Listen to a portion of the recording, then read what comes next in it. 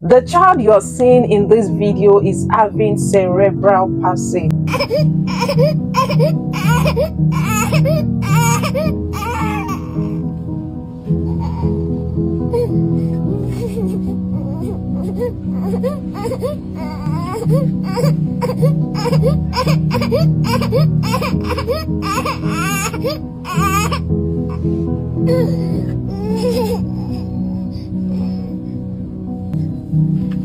and this is a group of conditions that affect the movement, the posture, the speech, most things that have to do with the baby. So in this video, I'm going to talk about the causes, the signs that will indicate a child is having cerebral palsy, and what you can do to prevent giving birth or having a child with cerebral palsy. Cerebral palsy is caused by damage that occurs to a developing brain, most especially before birth and this gives the symptoms of having stiff muscles, lack of balance and muscle coordination, trouble walking, delay in speech development, trouble speaking, trouble with swallowing, learning disabilities, intellectual disabilities, delayed growth resulting in smaller size than expected.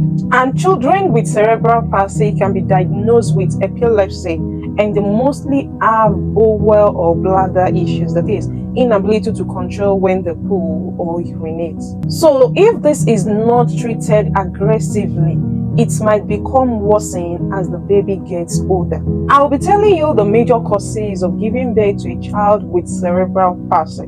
So take note of this that cerebral palsy occurs as a result of when the brain is not developing well or when there is damage to a developing brain. And these are the things that can put a child at risk of coming out with cerebral palsy. Number one is when the pregnant woman has infection like syphilis, herpes. Number two is when the pregnant woman has stroke which interrupts the supply of blood to the developing baby. Number three is when there is bleeding into the brain of the baby in the womb or at the time of birth. Number four is when the baby in the womb has infection causing swelling in or around the brain. Number five is when the child has traumatic head injury, which can be from motor accident, from fall, or a trauma. And number six is when the baby lacks oxygen during hard labor or delivery. That is why it is important for babies to cry immediately after birth. Also, babies that are born with weight that is less than 2.5 kilograms at higher risk of developing cerebral palsy. I know you like to ask that what are the things you can do to prevent giving birth to a child with cerebral palsy or prevent your child from developing cerebral palsy after birth.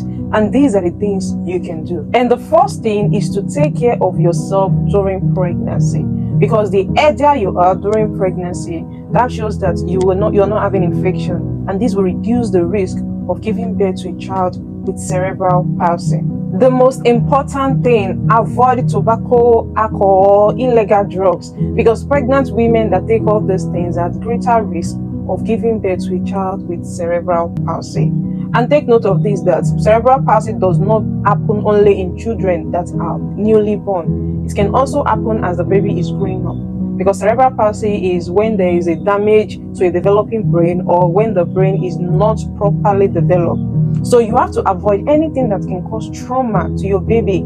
Avoid falls. Don't allow your baby to fall. Don't shake your baby. Don't throw your baby in the air.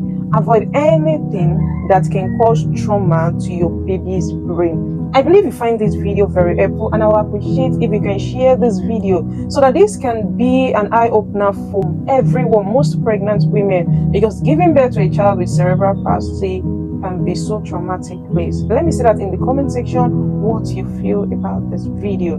This is your nurse, nurse Ime See you in my next video. Thank you.